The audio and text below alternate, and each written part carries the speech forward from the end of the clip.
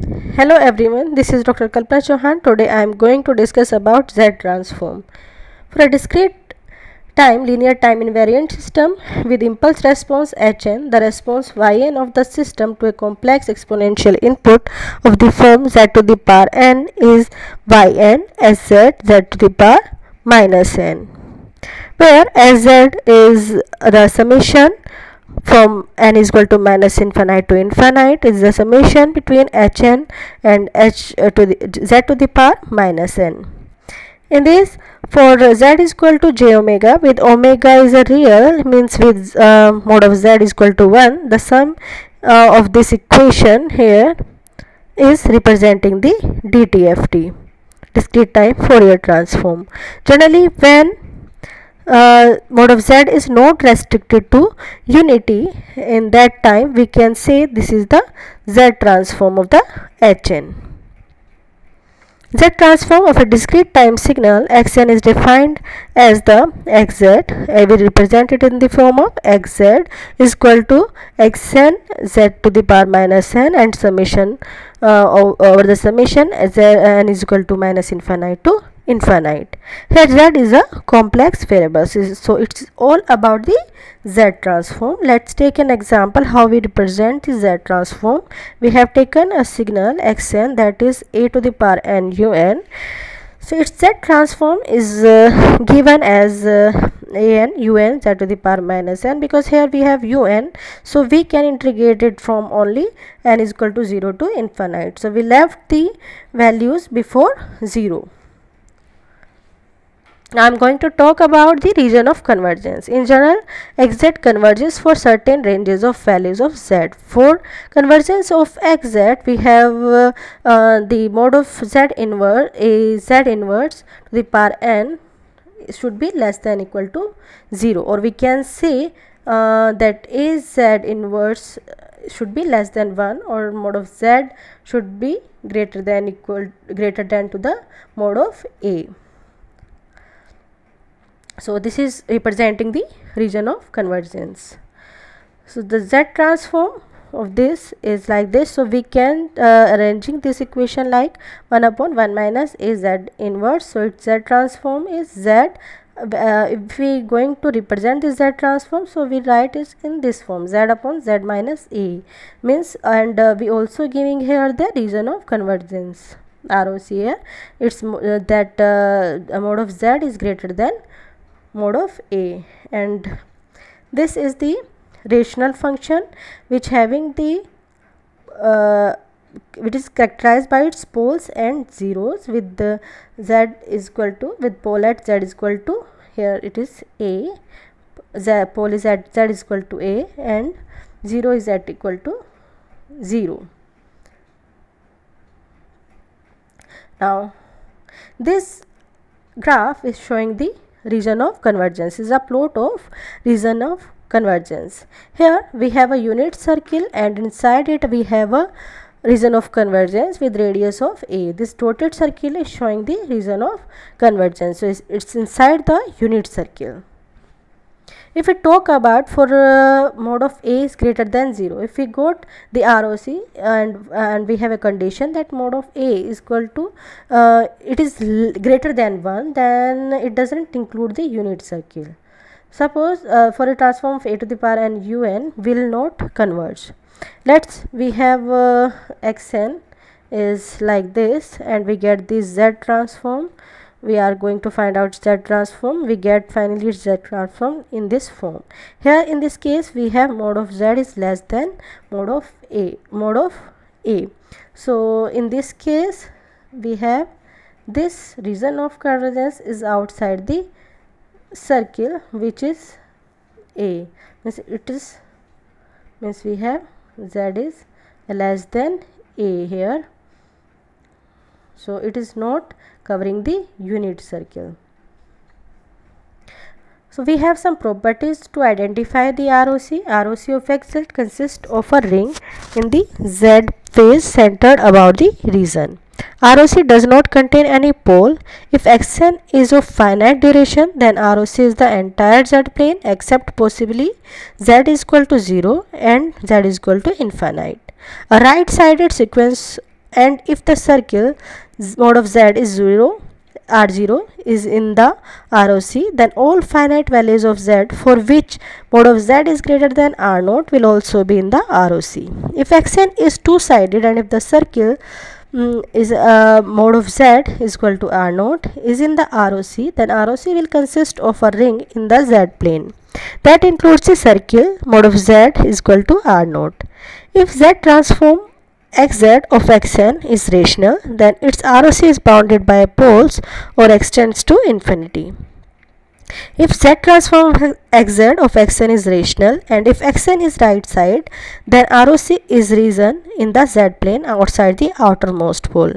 If z transform xz of xn is rational and if xn is left sided then in that case ROC is region in the z plane inside the investment to non-zero poles are some properties of Z transform. For this purpose, we have giving a sequence means for xn we have transformed it uh, uh, xz and its ROC is considered R. For x1n we have the transform is x1z and ROC is R1. For x2n we have transform x2z and ROC is R2. Now let's see these properties one by one.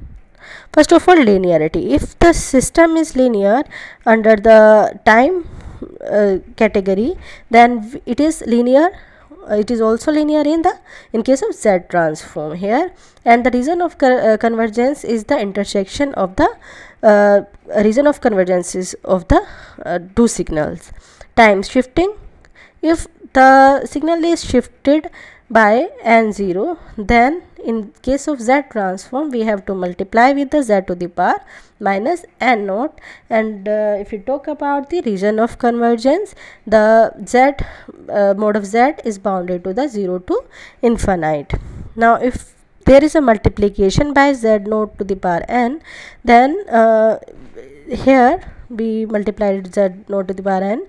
Then in case of z transform we have to divide by the z naught now multiplication by e to the power j omega naught n.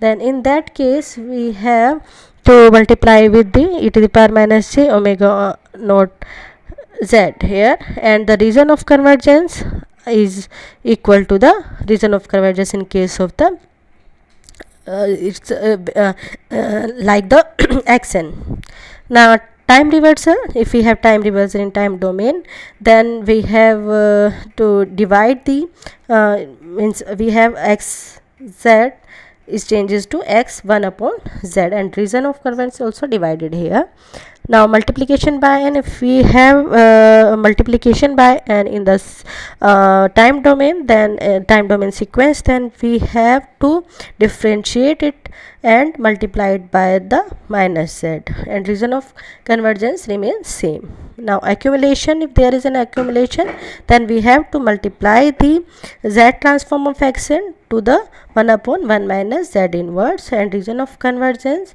We have mode of z is greater than 1 and it is the intersection and the intersection with the uh, region of con convergence of the uh, xn which is r. And convolution if there is a convolution in the time domain sequence then we have to multiply the z transform of the x1 and, and x2 and and the region of convergence is the intersection of the both the region of convergences so these are the properties related to the z transform so uh, we have discussed Z transform properties. Now I am going to discuss about the inverse Z transform.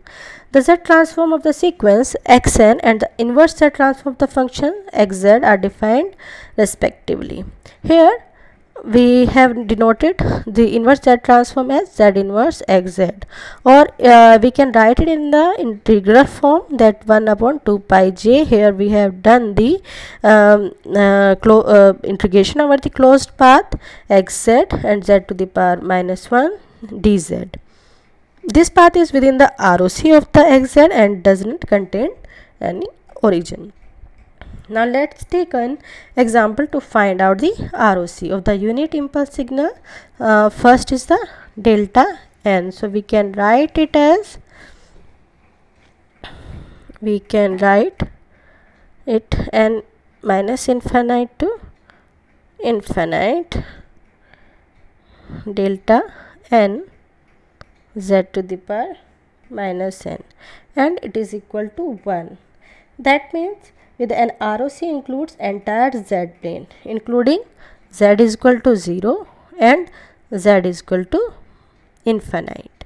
Second we have delta n minus 1 in that case we have infinite to infinite delta n minus 1 z minus 1 in that case we get z to the power minus 1 in this case Z transform has ROC consists of uh, entire Z plane including Z is equal to infinite but excluding Z is equal to 0. Third case we have delta n plus 1 can write it as n is equal to minus infinite to infinite.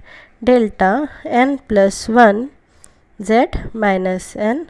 We get in this case z so the thus uh, ROC consists of the entire z plane including z is equal to 0 in this case uh, but there is a pole at minus at infinite.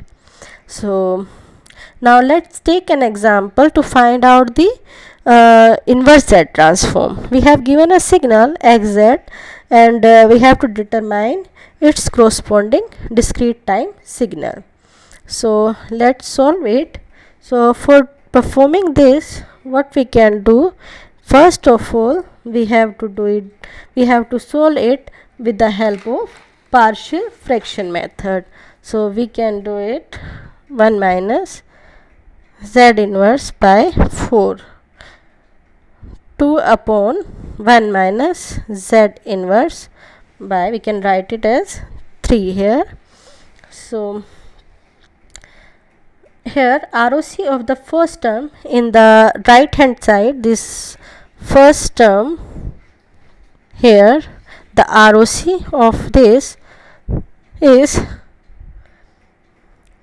the ROC we can say Z is equal to 1 by 4 and if we talk about the second term here then for the ROC Z is equal to 1 by 3 now ROC of xz we can say here that the ROC of the xz uh, lies outside the outside the z is equal to 1 by 3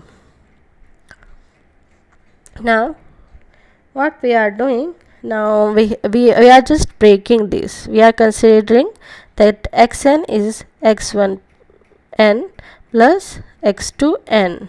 So what we have xn here in this equation we have xn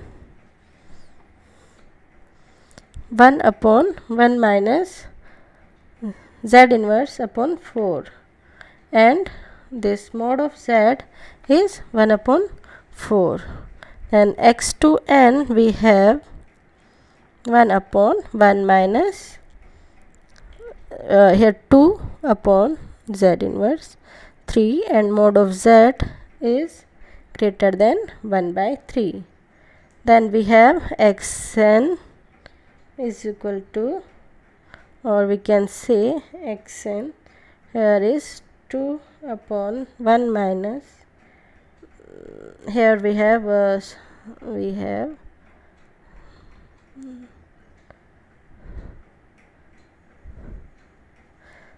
so we have we can write the xn as 1 upon 4 to the power n un plus 2 1 upon 3 n un like this.